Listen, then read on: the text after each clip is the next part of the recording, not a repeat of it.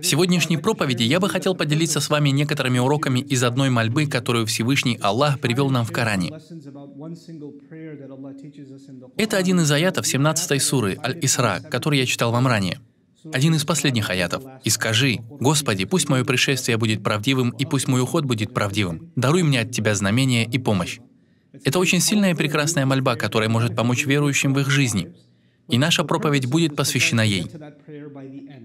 Сначала я хотел бы вам рассказать немного о предыстории этого аята, чтобы вы поняли, каким образом появилась эта мольба и какую пользу она принесла, в первую очередь нашему посланнику, мир ему и благословение, а затем и в общем, всем нам. Поскольку верующие знают, что главная цель любой мольбы — связь с нашим Господом, и Господь помогает нам посредством нашей мольбы к Нему. Все наши мольбы в той или иной степени приносят нам пользу в этой жизни.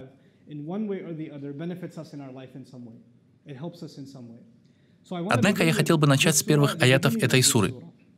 Сура начинается с одного уникального события, произошедшего в жизни пророка, мир ему и благословение, когда он был чудесным образом перенесен из Мекки в Иерусалим. Там он совершил молитву, а затем был вознесен на седьмое небо, и затем вновь вернулся в Мекку. И все это случилось, если считать по земным меркам, меньше, чем за секунду. Но для пророка это заняло внушительный объем времени, поскольку время в этой мирской жизни совсем не такое, как в невидимом мире.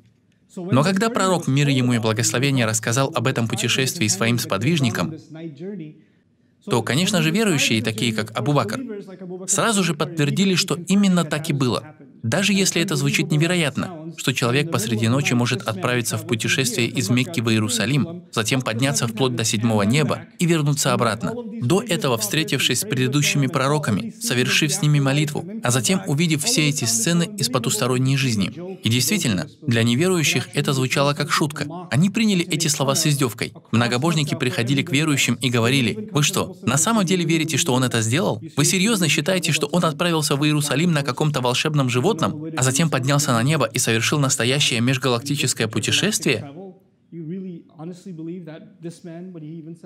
И верующие отвечали, да, мы верим в это.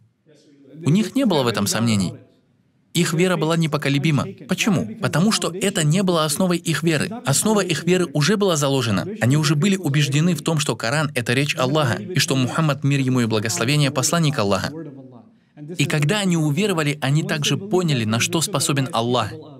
И то, что Он уготовил для нас в последней жизни, еще более удивительно, когда Он поднимет их из могил. Поэтому, что им мешает поверить, что Аллах может отправить своего посланника в Иерусалим таким чудесным образом? Следует отметить, что эта сура была неспослана в тот момент, когда пророк, мир ему и сподвижники испытывали большие трудности.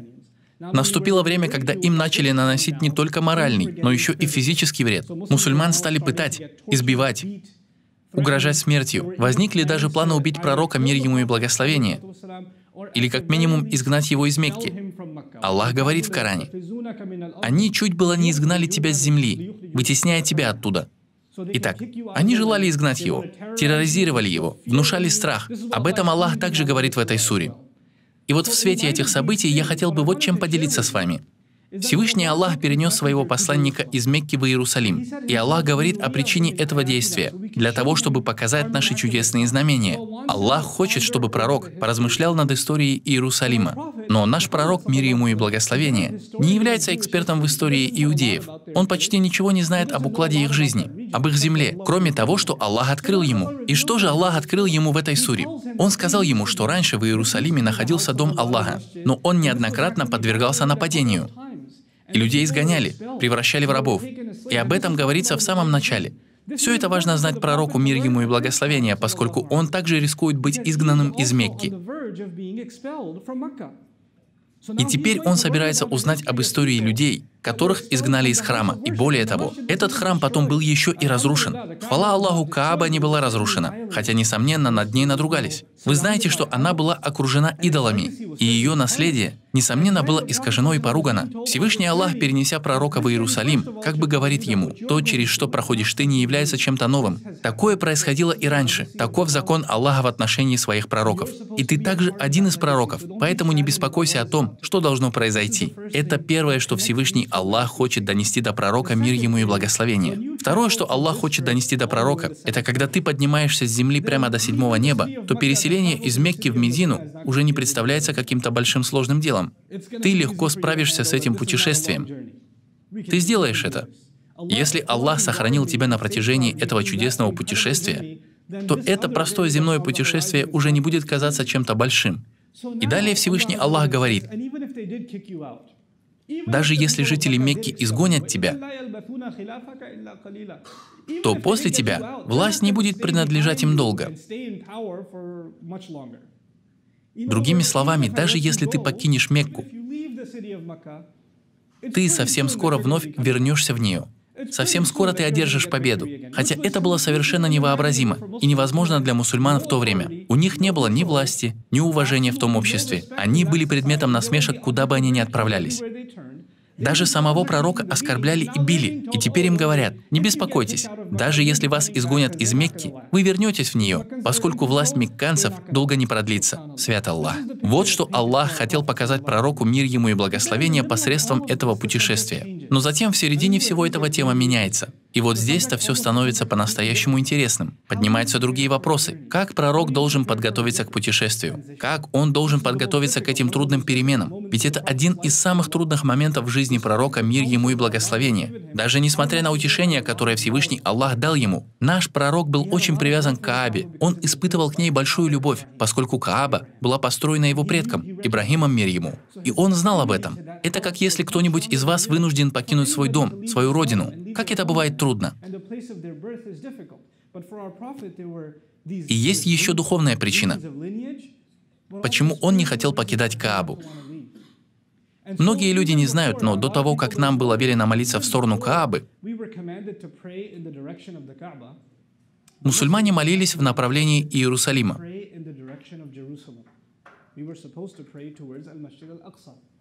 Но что делал пророк, мир ему и благословение, находясь в Мекке? Поскольку перед Каабой можно становиться в любом направлении, он становился таким образом, что Кааба находилась перед ним, а за Каабой находился Иерусалим. Так он мог молиться в сторону Иерусалима, соблюдая установление молитвы, и при этом проявлять уважение к дому своего отца Ибрагима. И это, кстати, показывает важность того, почему пророк отправился именно в ту мечеть, в мечеть Иерусалима, поскольку это была первоначальная кибла. Это можно сравнить с умрой, предписанной Аллахом, поскольку это была первоначальная кибла, еще до того, как ею стала Кааба. Об этом говорится в серии пророка «Мир ему и благословение». И вот пророк «Мир ему и благословение» переселился в Медину, и он должен молиться, как обычно, в сторону Иерусалима. Но дело в том, что если он направится в сторону Иерусалима, Мекка окажется за его спиной. Он уже не может встать так, чтобы Мекка и Иерусалим были в одном направлении. Если он повернется в сторону Иерусалима, Мекка окажется за его спиной. И это причиняло ему душевную боль. Есть предания, в которых говорится, что пророк, мир ему и благословение, покидая Мекку, оборачивался к Каабе и плакал, обращаясь к ней так, как будто он прощается со своей матерью. Да благословит его Аллах и приветствует. Это было очень эмоциональным путешествием для пророка, мир ему и благословение. Однако, оно было не только эмоциональным, но еще и довольно опасным. Мекканцы наняли людей, единственной задачей которых было обнаружить его следы, найти и убить. Это была их работа. Они знали, что он планирует бегство, что это, скорее всего, произойдет ночью. И поэтому они готовы были тут же напасть на его след, схватить и убить. И дошло до того, что его чуть было не убили. Это описывается в другой суре, суре покаяния, неспосланной намного позднее. Наемники шли буквально по пятам за ними. Настолько, что в один из моментов стоило им посмотреть вниз, как они увидели бы пророка мир ему и благословения и Абу Бакра, спрятавшихся в пещере. И именно в тот момент пророку, мир ему и благословение, не спосылалось откровение. Абу Бакр был очень взволнован, и пророк повернулся к нему и сказал, «Не печалься, Аллах с нами». Удивительные слова. Даже в той ситуации пророк не сказал, «Не бойся, Аллах с нами». Он сказал, «Не печалься, Аллах с нами». Абу Бакр не боялся, он просто печалился, что если их обнаружат, истина умрет и уже не будет распространяться. Вот что печалило его, а не страх перед смертью. Не было причины говорить «не бойся, Аллах с нами». Поэтому пророк и сказал «не печалься, Аллах с нами». Итак, мы узнали, что это путешествие было очень опасным, очень грустным, очень болезненным в эмоциональном плане. И учитывая все это, Всевышний Аллах дает пророку полноценную провизию, которая поможет ему подготовиться к путешествию. Итак, Аллах делает всегда. Когда вы готовитесь к трудному путешествию, Он дает вам наставление. Например, когда вы отправляетесь в хадж, Аллах говорит, «И запасайтесь, и поистине лучшим запасом для вас является богобоязненность». Когда мы отправляемся в хадж, что является трудным путешествием? Аллах велит нам хорошо подготовиться, собрать все необходимые вещи, иметь при себе все документы, взять достаточно денег, выбрать безопасный маршрут, не разговаривать с подозрительными людьми. Все это заключено в одном слове – таза у воду. Запасайтесь. И лучшим запасом из всех запасов является ваша богобоязненность. А затем уже ваша осторожность и внимательность в пути. Вот что Аллах говорит нам, когда мы отправляемся в путь. Теперь, каким образом Аллах подготавливает пророка, мир ему и благословение? Что он говорит ему? Вы удивитесь, но Всевышний говорит, «Совершай молитву с полудня до наступления ночного мрака и читай Коран на рассвете». Хочешь подготовиться к путешествию? Молись. Хотя пророк, мир ему и благословение, и так был усерден в молитве, и он молился и до того, как был неспослан этот аят. Теперь Аллах говорит ему, тебе придется расстаться со своим народом, расстаться с родиной, но всегда помни, что одна связь у тебя останется, и ты должен укрепить ее как никогда раньше. И это связь с Аллахом. И, кстати, на арабском слово «связь» звучит как «саля», что также означает молитву.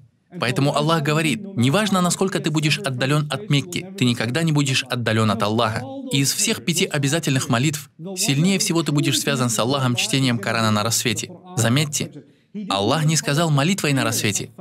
Он назвал ее Кораном Фаджра, Кур'ан аль-Фаджр. Студенты, изучающие арабский, знают, что слово «Коран» в Коране не прибавляется ни к одному слову, кроме слова «фаджр». Это удивительное выражение.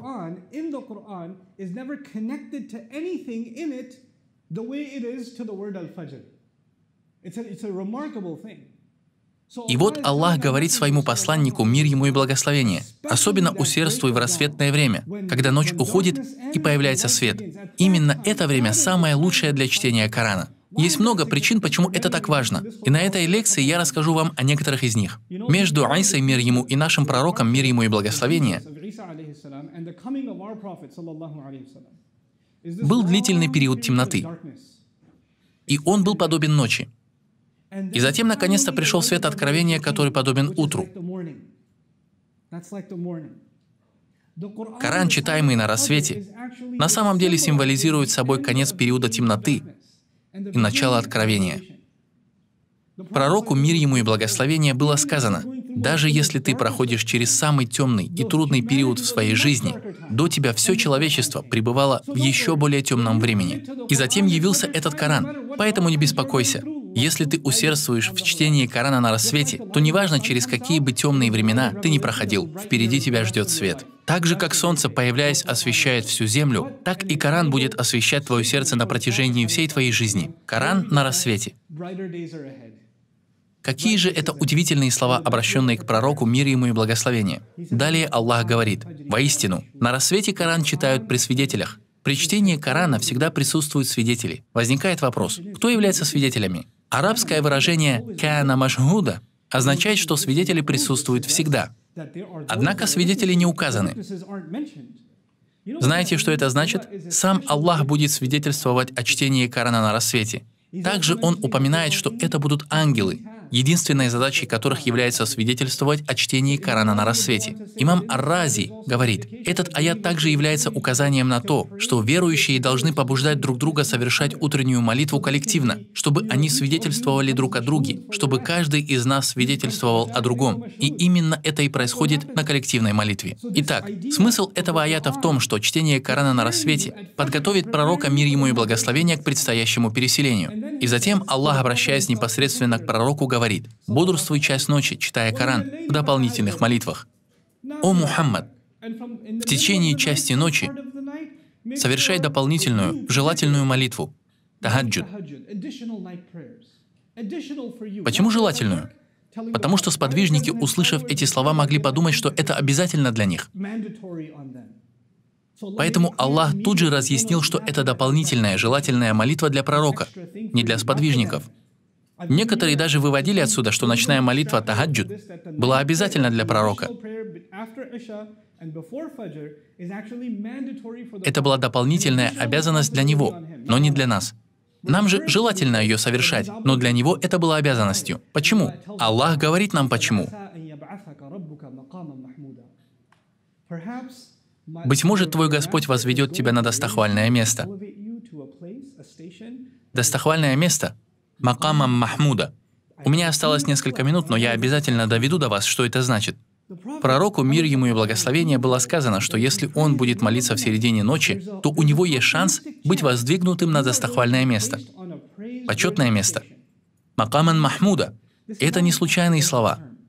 Что же это значит достохвальное место?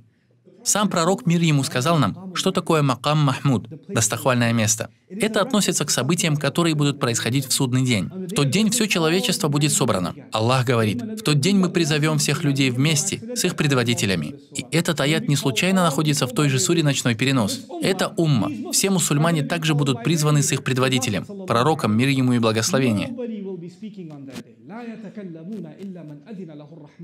Никто не будет говорить в тот день, кроме того, кому позволит милостивый.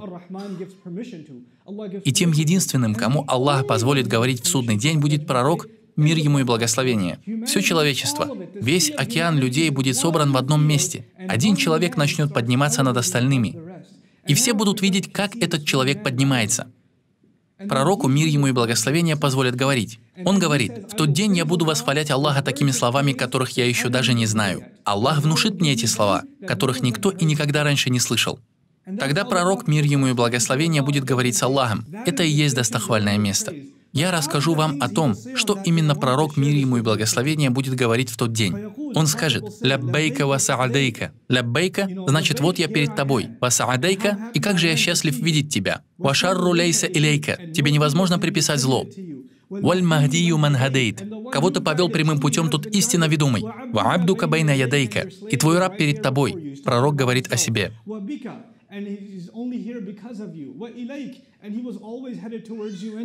«Валя мальджаа, валя манджа минна илля илейка». И нет места, где можно спрятаться и найти убежище. И нет спасения от тебя, кроме как у тебя. Табаракта ва таалейта. Благословен ты и возвышен. Субханака, свят ты и лишен всех недостатков. И последние слова по-настоящему трогают меня. Пророк говорит, Раббальбайт, Господь дома. Он говорит не просто Господь, а Господь дома. Какой город пророк собирается покинуть? Он покидает Мекку, где находится что? Дом Аллаха. Аллах сначала говорит, читай Коран на рассвете, затем говорит, молись часть ночи, возможно, Аллах возвысит тебя на достохвальное возвышенное место. И когда Он будет поднят на это достохвальное место, Он обратится к Аллаху со словами «Господь дома». Но когда пророк мир ему назовет Аллаха Господом дома, он уже не будет находиться рядом с Каабой. Слова «Господь дома» относятся к трону Аллаха. Это трон Аллаха. Великое царство Аллаха на небесах, то есть над Каабой.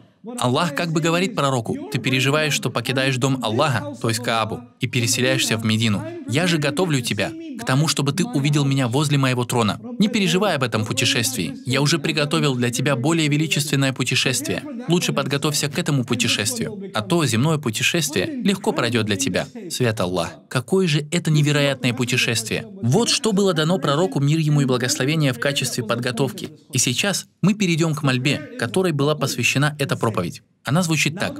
«И скажи, теперь, так как ты подготовил себя, попроси Аллаха, Господи, пусть мое пришествие будет правдивым. Господь мой, позволь мне войти в предназначенное мне место правдиво». По-арабски это звучит как «мудхаля сыткин». Это выражение трудно перевести, но я постараюсь передать вам некоторые из его значений. Братья, прошу вас, сядьте поближе. Выражение «мудхаля сыткин» означает «О Аллах, куда бы ты ни повелел мне войти, сделай так, чтобы я не свернул с истины. Сделай так, чтобы истина всегда сопровождала меня». Сыдк с арабского переводится не только как «правда», но еще и как «благо». Получается, можно перевести и так «О Аллах, куда бы ты ни повелел мне войти, сделай мое вхождение благим». Введи меня туда, где есть благо для меня. Окружи меня людьми, которые примут мою истину. Сделай меня правдивым для других и пусть другие тоже будут правдивы со мной. Вот что значит мудхаля сыткин. Далее. И пусть мой уход будет правдивым. О Аллах, откуда бы ты меня ни вывел, сделай так, чтобы я был привержен истине и всему, в чем есть благо. Вот что интересно. Ведь пророк не пребывал куда-либо, а наоборот, покидал определенное место. Он покидал Мекку. Поэтому я бы ожидал, что Аллах скажет, «И скажи, Господи, выведи меня отсюда», так, чтобы я остался верен истине и всему, в чем есть благо для меня. Но вместо этого Аллах начал со слов «И скажи, Господи, введи меня с истиной во благе». На самом деле в этом заключается великая мудрость Аллаха. Когда я изучал толкование этих слов, которые давали ученые в прошлом, я был совершенно озадачен. Кто-то говорил, слова «введи меня в истинное место» относятся к Медине, а слова «выведи меня с истиной» относятся к Мекке. Другая группа ученых говорила «нет-нет-нет». На самом деле слова «введи меня с истиной» относятся к его возвращению в Мекку. А слова «выведи меня с истиной» означает его уход из этого мира. Третьи говорили, эти слова означают «введи меня в могилу приверженным истине и выведи меня из могилы». И все толкования правильные. Но знаете, почему существует столько толкований? Потому что Аллах не стал ограничивать эту мольбу исключительно переселением пророка, мир ему и благословения. И в этом великая мудрость Аллаха. Каждый из вас, я, моя семья, ваши семьи, каждый человек на земле находится в какой-либо ситуации, либо выходит из какой-либо ситуации. Мы либо в центре чего-либо, либо надеемся выбраться откуда-либо. То, что Аллах хочет донести до нас в этой мольбе, просто удивительно. Если вы хотите выйти из какой-либо ситуации и при этом остаться на истине, приобрести благо, то сначала будьте усердны в своей молитве. И особенно держитесь за свою рассветную молитву. И если вы на самом деле хотите достигнуть почетного и достохвального места, то совершайте дополнительные молитвы по ночам. И затем, когда вы сделаете это, то в какой бы трудной ситуации вы ни оказались, вы уже не будете беспокоиться о том, выведет ли вас Аллах из этой трудной ситуации или нет. Вы будете знать, что сначала Аллах приготовил для вас нечто прекрасное и благое, а уже затем избавит вас от трудностей. Надеюсь, мои слова понятны вам? Я хочу донести до вас красоту этой мольбы. Когда человек испытывает трудности, когда у вас или у меня проблемы, то обычно единственное, о чем мы думаем, когда же мы избавимся от всех этих неприятностей? Это единственное, чего мы желаем. Аллах же по своей мудрости дал нам мольбу, которая не только избавляет нас от неприятностей. Аллах как бы говорит нам, перед тем, как вы попросите избавить вас от неприятностей, сначала попросите меня привести вас к благому, и среди прочего избавить вас от проблем. Сначала приведи меня к благому, а уже затем выведи меня с благом поскольку может оказаться так, что вы избавитесь от одних неприятностей и попадете в еще большие неприятности. Так часто происходит в нашей жизни. Поэтому прежде чем думать о том, как выйти из вашей трудной ситуации, Аллах говорит вам, чтобы вы молили Его подготовить для вас благое место, в котором вы сможете придерживаться истины. И отсюда мы делаем вывод. Неважно, в какой бы ситуации мы ни оказались, какие бы проблемы ни окружали нас, мы должны просить Аллаха так, что наша личность наше достоинство, наша правдивость не подвергались опасности. Пока все это присутствует в нас, то в каком бы положении мы ни оказались, мы можем надеяться на лучшее. И, наконец, последняя часть этой мольбы звучит так. «Даруй мне от Тебя знамение и помощь». Даруй мне какое-нибудь знамение, которое может исходить только от Тебя, о Аллах, и которое касается исключительно меня и никого другого.